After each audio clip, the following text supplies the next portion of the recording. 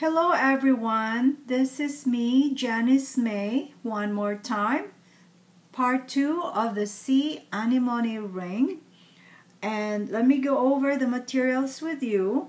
Uh, we need the Y-wrapped paper beads and we did this part 1, a very simple process and you can go to the part 1 video if you like. And we need a 20 gauge wire. For the purpose of this demo, I'll be using the 22 gauge, uh, slightly softer.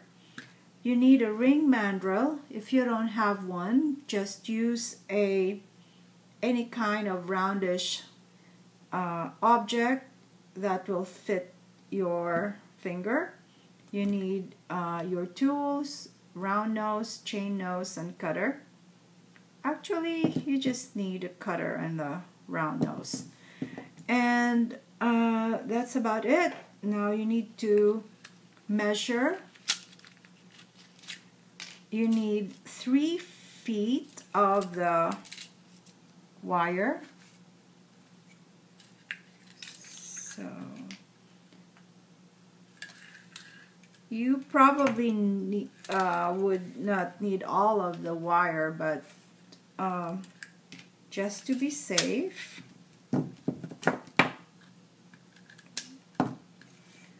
The next thing you need to do is find the center of your wire. Okay. And you need uh, something like a round pen or in this case I'll be using a stylus pen to form a loop. So very simple process. Just form a loop okay? So now you have this loop. You will put your wrap beads into this loop and gather in that area. And so I'm just gonna go ahead and do that.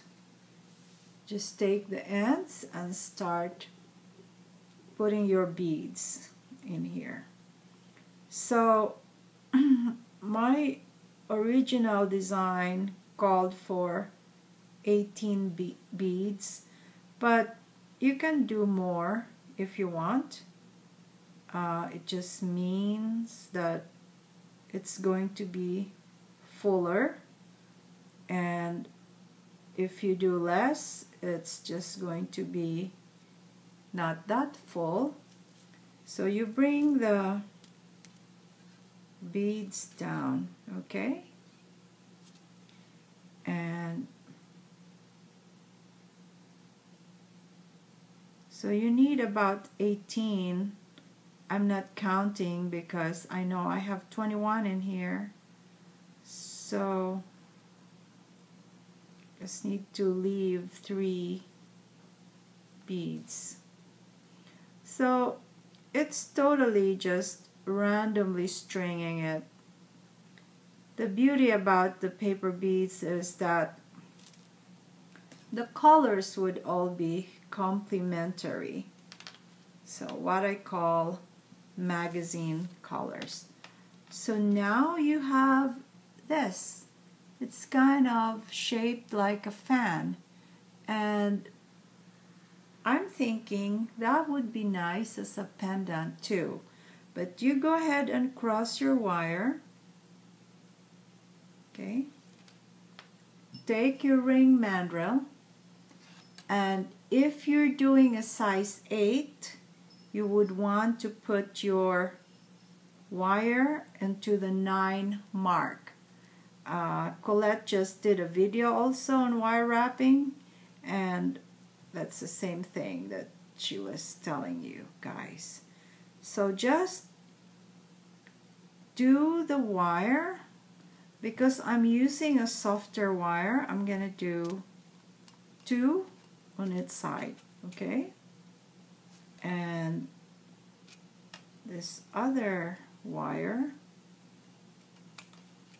It's kind of awkward in the beginning, but soon as you get it down there, you'll be fine.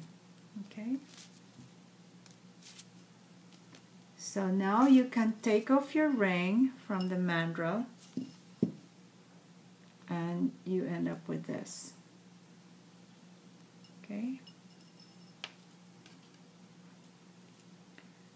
So, first thing that I need to do is I'm going to wrap this around to keep the beads from slipping off and after I do that I'm gonna wrap it also one time around the shank just to keep the shank also from separating. And now I'm ready to wrap this later on. And same thing with here. I'm just gonna wrap this around the shank one time. Okay and now your shank is secure. It's not gonna move around. And the next thing you need to do I think this is the fun part shaping your anemone ring okay? What you're gonna do is take the wire and wrap it so that your spike of your anemone stays up. Otherwise it's gonna flop around like that. So this is the trick. You will wrap your wire around the beads and make it go in the middle like that and come up and go down again and come up. And the wire will be kind also of decorative. It's gonna be part of your design. But your whole purpose is wrapping the beads so that it stays up like the real sea anemone ring. Okay. Like that. So you can bring your wire in the middle and do a wrap around and around and down and up again and take the other wire. There is no rhyme or reason here I don't have a pattern per se. All I do is I just randomly wrap this beads to keep them from moving around. So as you can see it's coming along just fine right? And I have a lot of wire left but that's fine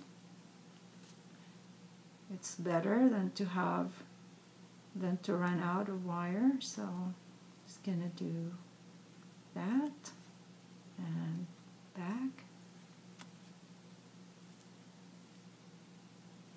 Okay. So there's your anemone ring. It's really taking shape and the nice thing about this is you can adjust your spikes. And because each of the bead as we were doing it on part one is wire wrapped it's not going to come off easily. That's what I found when I was doing this in the beginning and was just uh, doing rosary loops instead of uh, the split ring kind of style of wire wrap. Because you can do whatever you want with this and it's going to stay. It's not going to go anywhere. So right now it's taking shape. I like the I like the form of it as you can see okay? So what you need to do next is end it uh, so it still flaps around a little bit but that's the beauty of it because you can you know reposition it whatever you like okay? There's sea anemone after all. So okay Anybody can tell me how to pronounce that? Is it sea anemone, sea anemone? No, just tell me, message me. So now you end your wire by bringing it to the center, maybe wrapping it one more time like so, and cut it down to about an inch take your round nose and just start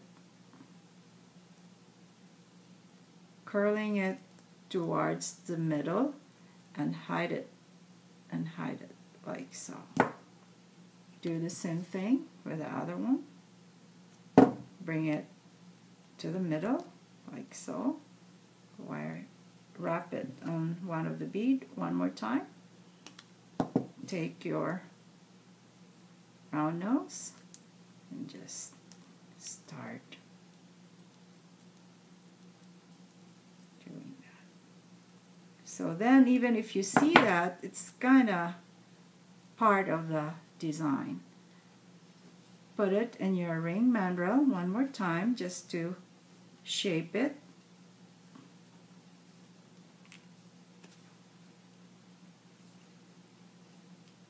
Like so. And there's your ring. I think it's pretty. Pretty cocktail ring. I'm just gonna try it on.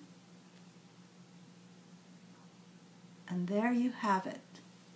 Your sea anemone ring. I hope you like this tutorial. You can use it however you want to use it. And and that's fine. So this is Janice Mae once again. Thanks for watching.